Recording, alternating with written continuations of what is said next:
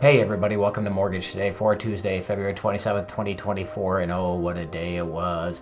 UMBS were down six basis points bright and early. Once upon a time, the bond market was more.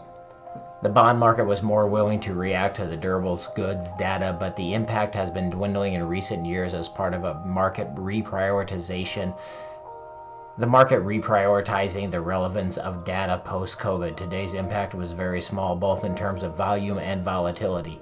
Durable goods came in at negative 6.1 on a negative 4.5 forecast, which is pretty big forecast, especially since it was 0.3 previously.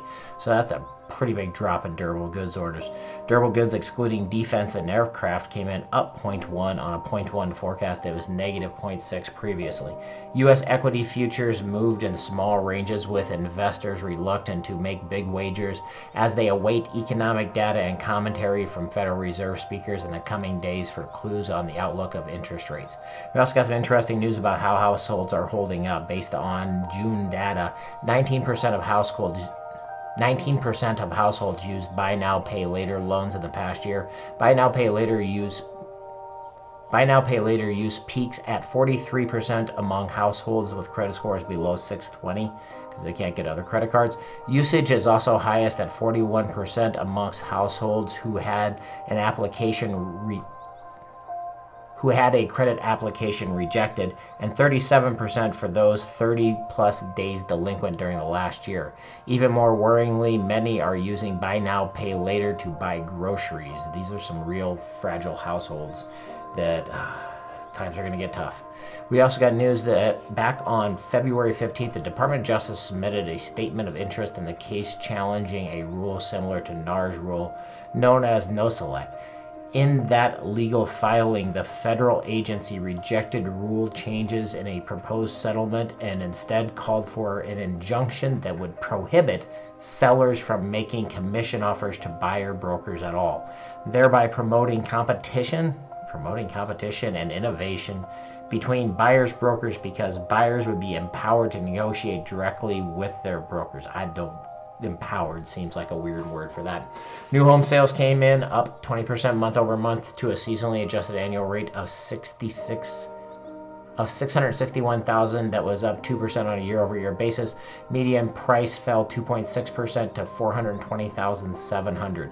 House prices rose 6.5% year-over-year according to the FHFA. However, the market showed signs of softening as house price appreciation was lower in the fourth quarter of the year than the previous quarter. That was from the FHFA. The five states seeing the highest, highest amount of appreciation were unusual, those being Rhode Island, Connecticut, West Virginia, Vermont, and New Jersey. The Case-Shiller Price Index, its counterparty, which includes jumbo loans, rose 5.5% in December, an acceleration from 5% reported in November. Basically, a rising tide rose all boats. Regionally, the Midwest and the Northeast both experienced the greatest annual appreciation at 6.7%. The economic data drought finally began to dry up this morning, with durable goods being the first remotely relevant report since last Thursday. Results were mixed for the bond market, with most of the normal line items seemingly being good for bonds. The more obscure capital the more obscure core capital goods shipments was bad for bonds due to this implication for quarter one GDP. While that's not the GDP data coming out this week, it's still enough to reverse the microscopic gains seen in the first couple of minutes of trading. Of course, all of the above is much ado about nothing in the bigger picture, as bonds must continue waiting for truly meaningful data.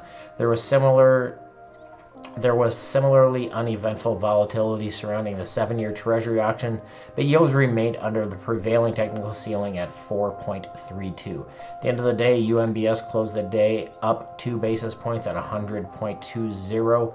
So at 100.20, it puts us in this thicket of Fibonacci and puts us right in this thicket between this really tough Fibonacci line at 100.428 and the 100 day and the 200 day moving average at 100.186. We also got some interesting news. Sterling Point Advisors reports that Fannie Mae's repurchase demand soared from 1.1 billion in 2020 to a jaw-dropping 2.1 billion in 2022. Talk about a numbers game. And guess who's left holding the bag? Yep. It's loan originators facing hefty price tags for repurchasing these scratch and dent loans. It's like cleaning up after a wild party you didn't even attend.